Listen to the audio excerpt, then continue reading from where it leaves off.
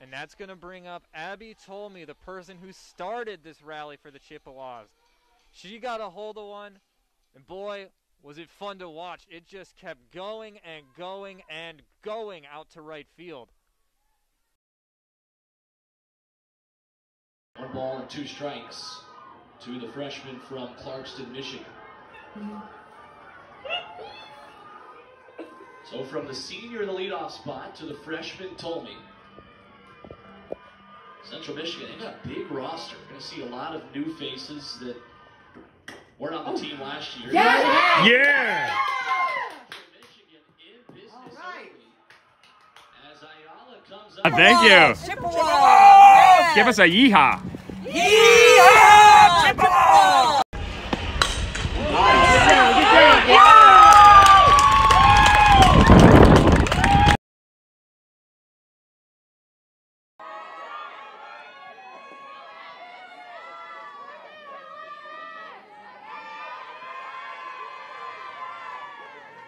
Abbey Tolmie she's got dual citizenship in Canada, where her parents are from.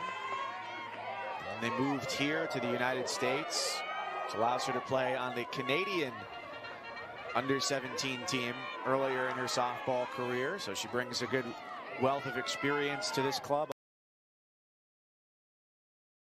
I forgot y'all.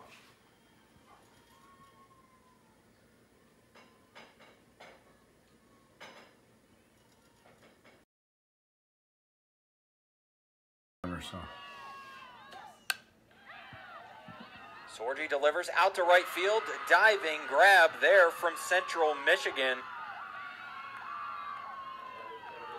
And a nice job to make the catch.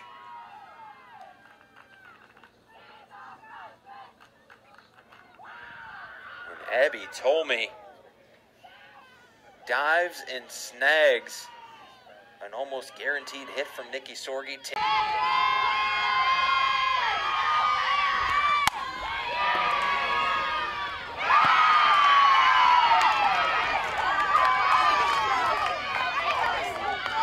For the Falcons in the bottom of the third, zero runs on zero hits. Uh, no reaches base.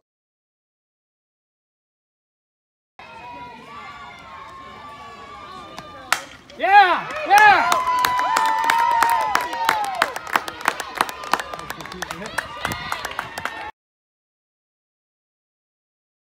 Some midweek non-conference action at Melissa Cook Stadium in South Bend, Indiana. It's the Central Michigan Chippewas from the Mid-American Conference, a record of 4 and 13, taking on the Notre Dame Fighting Irish at 16 and Marino deep to right field. Tolmie was positioned well, and that ends the inning. Third on a single. Here comes the 3 1. Line to the right side and through the right side of the infield. That's a base hit. Knapp will move up to second. And the Chippewas are in business early. The first two batters reach on a walk and a single.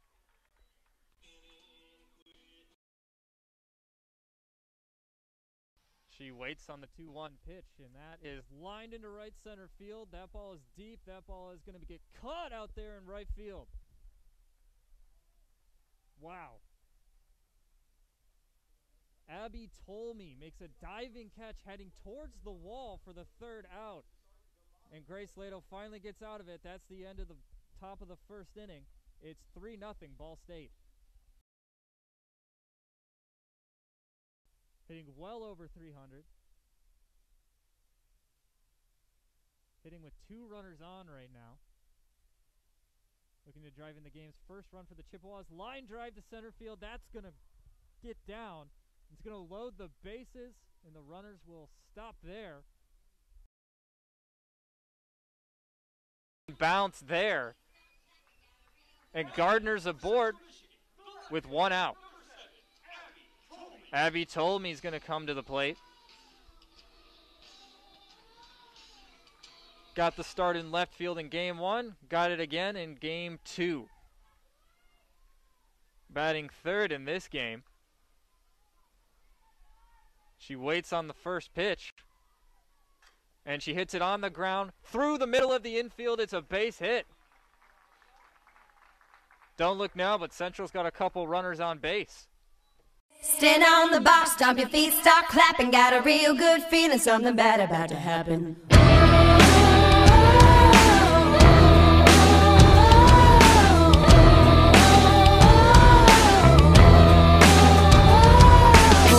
Get to their heads. That ball's lined deep to right field and down the line. It is gone, a home run. Abbey Tolmie goes yard to right field, and the Chippewas inch a little bit closer. It's seven to three.